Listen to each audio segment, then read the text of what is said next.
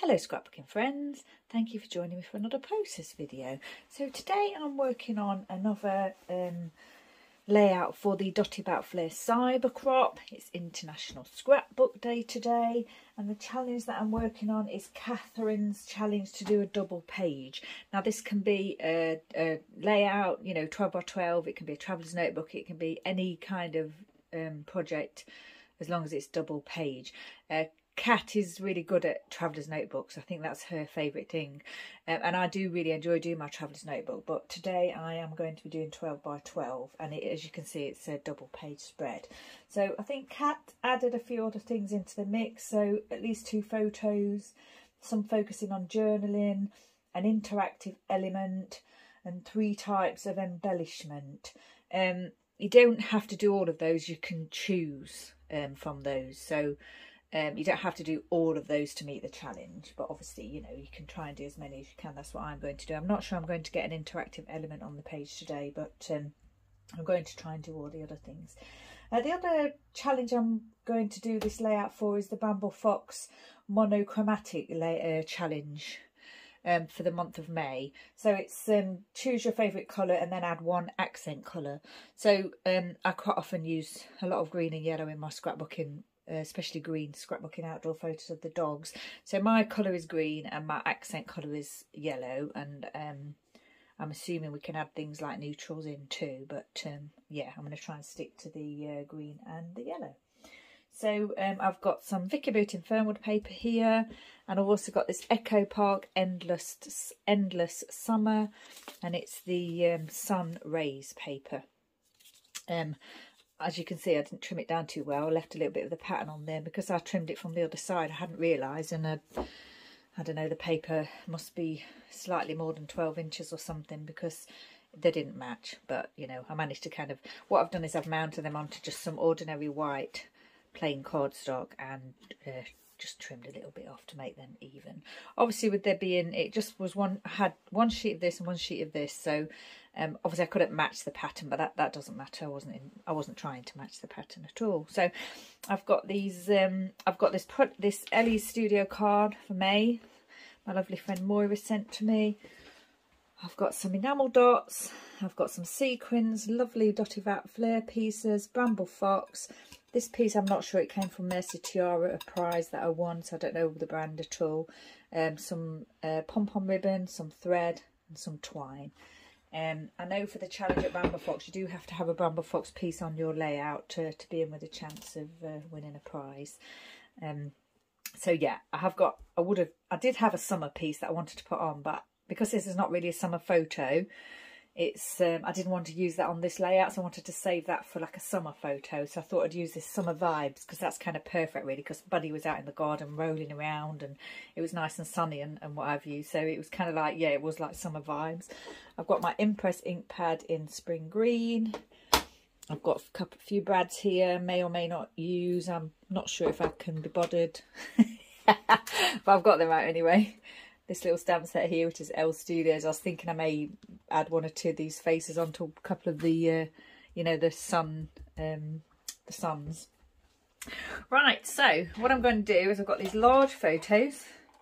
I was, I could have print, I could have trimmed this photo down to match this photo and not had the um, border.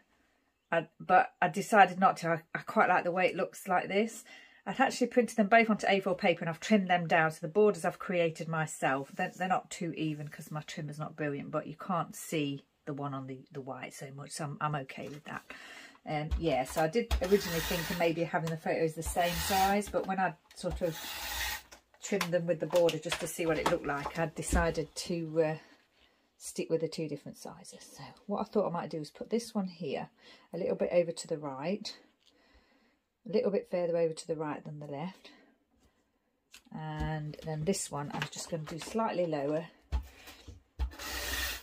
And uh, the same sort of gap here. So let's see how that goes. It's going to be another one of my uh, top left to bottom right layouts I think. Oops don't want to do that do we? Maybe sort of about there. I'm not using my T ruler. I can't use these lines because they're drawn, but I think that's going to be fine. And then we've got that card there. So I've got my pieces here. And I thought I'd do three at the top and three at the bottom like this.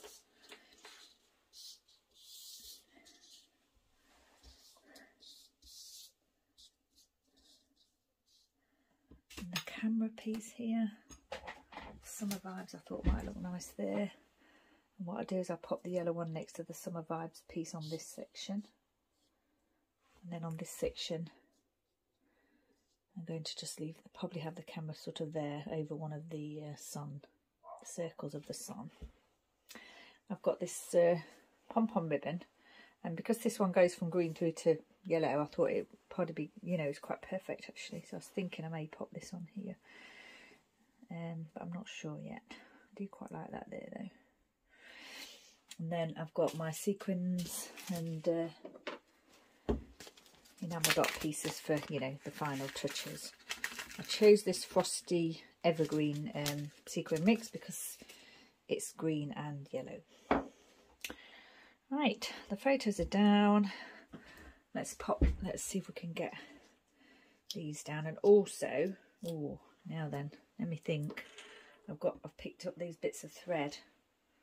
I've got the I've got the actual thread which I've loosened, and I've also got the actual original. You know, I don't know if that's actually that's not the same one actually. This one was actually embroidery thread from the same machine, whereas this one was the six-stranded thread. That's a different colour. Um, I had to get some yellow because I didn't have any yellow up here in my craft room.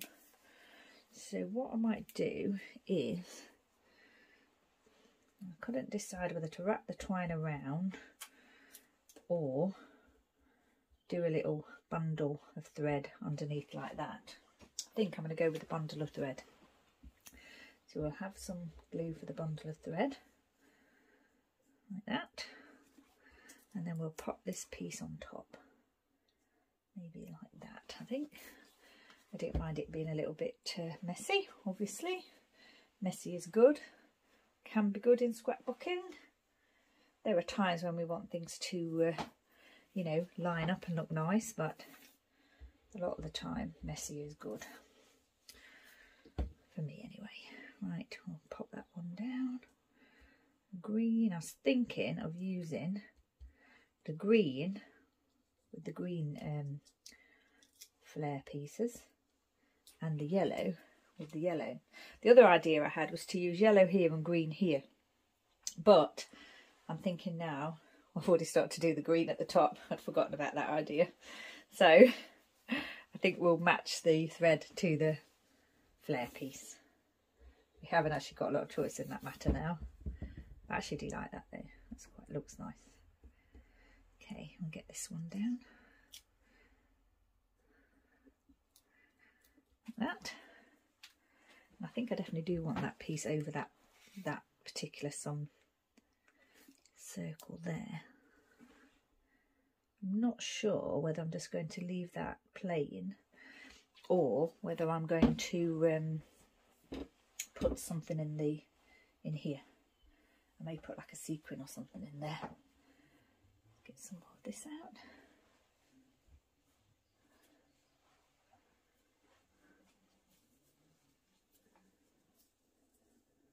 yellow, this piece.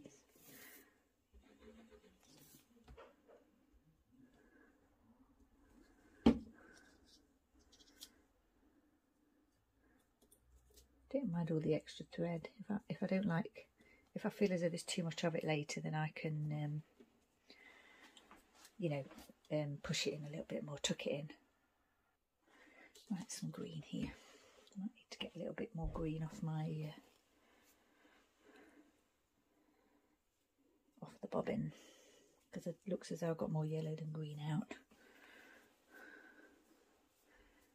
Pop this one on here. So these photos were Bud. He, the other day he was just, oh, it was quite nice outside. It was quite sunny. And uh, he just kind of threw himself on the lawn and was kind of rolling around and as dogs do. He was really funny. And uh, yeah, he's, he's, well, I say he's a sun worshipper. He would be if I let him be a sun worshipper. He um, he's a sort of dog that on a sunny day, like the hottest day of the year, he'll run outside into the garden, fling himself onto the lawn in the most exposed section of the lawn of the garden, and just kind of lie there. and uh, you know, he's quite a vulnerable dog, really. I mean, all dogs are vulnerable to uh, the heat, obviously. But um, yeah, Buddy in particular, we do have to watch because he's got immune conditions and he's quite a little boy as well. He would just would not last very long in the sunshine. So I have to go out and scoop him up like instantly and make him come back in. Obviously, he is allowed outside in the garden, but not on a, not on the hottest day of the year. Apart from to do his wee wees, and he's definitely not allowed to uh, roll around in the heat of the sun not sure whether they're in the places that I want them to be now, looking at them. They look a bit too, you know, like square, like a right angle. We'll see. I think they're okay. I'll pop this down. I'm going to do my journaling on here. It's not really, I know the, the um, challenges focus on journaling. I am going to do journaling and tell the story that I've just told you. But I wouldn't say it was a, focus, a journaling focus layout, so uh, we shall see. I'll just hold that down just for a second. So these cards that Moira sent to me, I'm keeping them in my little basket here. And when we get to the beginning of the next month, I'm picking them out to use on the, you know, on a layout to for that month. So yeah, I thought I'd use it for this one today. I think that's fine. That's sort of drying a little bit there. I'm not too sure about using those brads now. I'm not sure I can, uh, you know, be bothered. Now then, I've got these green enamel dots here, but I don't think I want things in both corners. Don't think I do. But what I think I might do is pop some of these. They look a bit orange, but they are yellow. Is pop some of these. Um, I was thinking of dotting some around the little sunshines but now I'm not so sure actually. I'm thinking I might want to keep these sections uh, empty. Hmm, now I'm not sure. But what we'll do, I think, is have a little, do a little bit of uh, sequin work. I think I'll probably add, add to these embellishment clusters. Maybe on the little sunshines here. I'll put a bit of glue down. I can't change my mind, can I? No, I think I'll just do that for the moment. Now I'm going to stick with the, I am going to stick with the yellow on the yellow here, although some of those pieces look a little bit more, like I say, look a little bit more orange. I'm taking them as being yellow. I'm just picking up the ones that come onto my little tool here. Now, yeah, and then I think I'll probably add some here as well because although it looks very different because the pattern is very different it's actually kind of a similar cluster. So of course here there's not the obvious place to put the glue because you've not got the sunshines but um that's fine. I knew that when I was thinking of the layout. Thinking of how I wanted to do the layout that one doesn't want to release oh it's gone on to that section instead that's fine Don't mind which one I pick up as long as it's green. See if that one will stick. No, it won't. So again, I've got um, not a lot of free space because I'm doing the double page layout. It takes up quite a lot of room on my... Uh, there isn't one on there. On my desk, as you can see. So I have to think, work a little bit differently when I'm uh, doing a double page. Done quite a few recently. I think I've got some more to do as well. I do love a double page layout, especially for like something like a special occasion. I mean, this is just an everyday moment in the garden, but uh, I thought the photos were really nice. And it's kind of telling the story of, you know, the weather getting better and Obviously we're not in summer yet, got a long way to go, but it did feel quite summery when Buddy was rolling around there. Right, that looks nice I think. I've already got the date on my date stamp. So we'll, we'll add that, I think. Yeah. 4th of May. Uh, still wondering, still wondering now about whether to use some of these green pieces or not. Thing is, I don't want to add the green pieces up here. So, yeah, no, I'm not going to. I'm just going to leave those off, I think.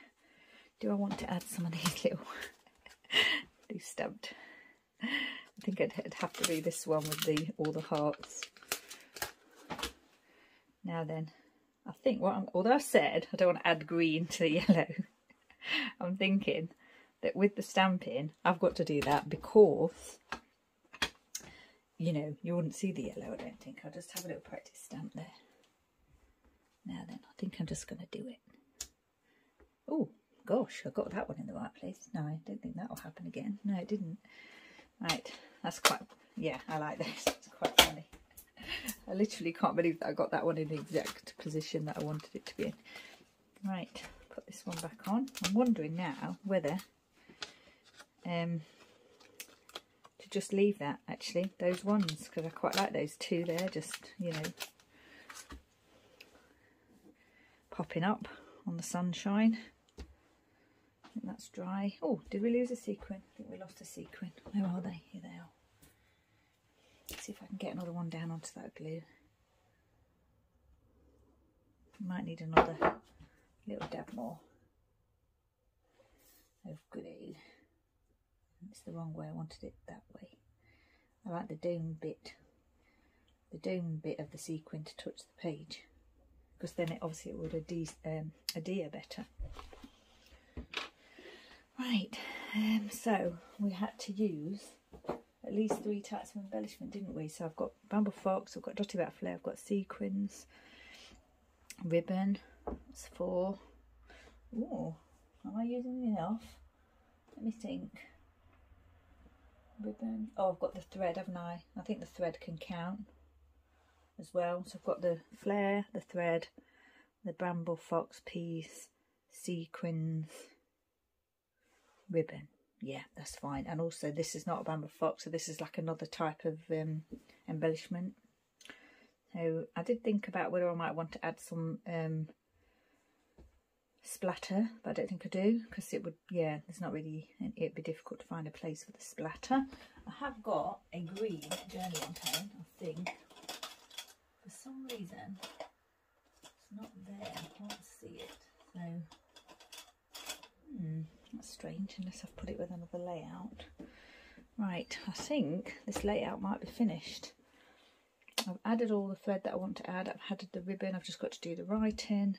It's quite a, say, simple layout, but I think the photos on, on this layout, I want them to sort of take centre stage. So a little bit of embellishing, little tiny bit of stamping, and then the journaling here. So yeah, so this is uh, Catherine's challenge over at Dotty About Flair the um, double page layout challenge and also as I've said I'm doing this one for the Bramble Fox monochromatic challenge as well and um, what I'll do is at the end of this video I'll add a little clip of Buddy rolling around on the grass so if you want to see that you know it'll be towards the end of the video so yeah I'll add the journaling then I'll um, I need to find my green pen if I can find it if not I'll have to use black and um, yeah, then it'll be finished. So uh, I'll pop some photos up and what have you. And uh, once again, thanks for joining me. Stay safe, take care, enjoy National Scrapbook Day, and I shall see you next time.